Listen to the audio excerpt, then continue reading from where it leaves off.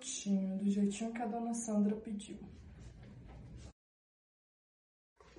Ô, Laís, o que é isso aqui? Oi, dona Sandra. Uai, é o pedaço de bolo que a senhora pediu, do jeitinho que a senhora quis. Sim, o pedaço de bolo está igual te pedi. Mas e essa cebosice aqui? O que é isso? Mas, dona Sandra, eu fiz do jeitinho que a senhora me pediu. Esse cabelo não é meu, eu estou de touca. Eu sempre uso a minha touca. Mas isso aqui não é meu. E o nosso cabelo é o mesmo tom, né?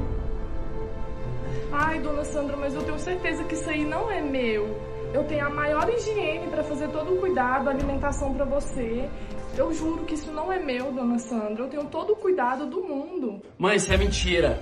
Não é a primeira vez que a Laís faz uma coisa dessa. Eu vi quando ela colocou o cabelo no bolo. Ah, seu Carlos, o que, que é isso? Jamais que eu faria isso. Eu? Justo eu? Não. Tá vendo, mãe? Ó, tá até gritando com a gente.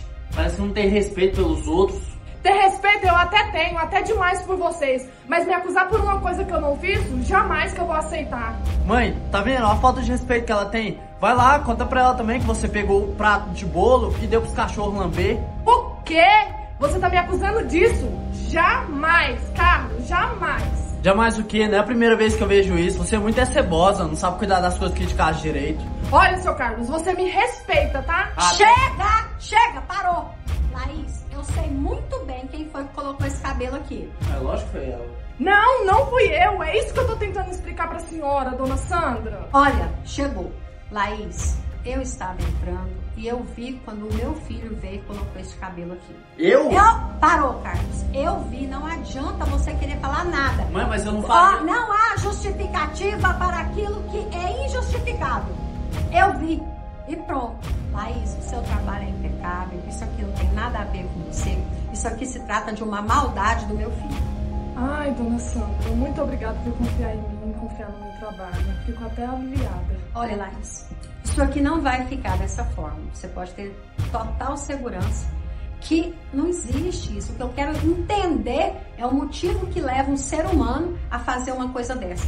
E com comida. Mas não preocupa não, porque aqui a gente tira e ele come. Nossa, dona Sandra, não precisa disso tudo. O cabelo estava em cima, está sujo o bolo. Não, Laís, não se preocupar não. Isso aqui é uma lição básica, coisa simples. Esse cabelo ele tirou da minha escova, eu conheço o meu cabelo. E outra, é cabelo de mãe, né?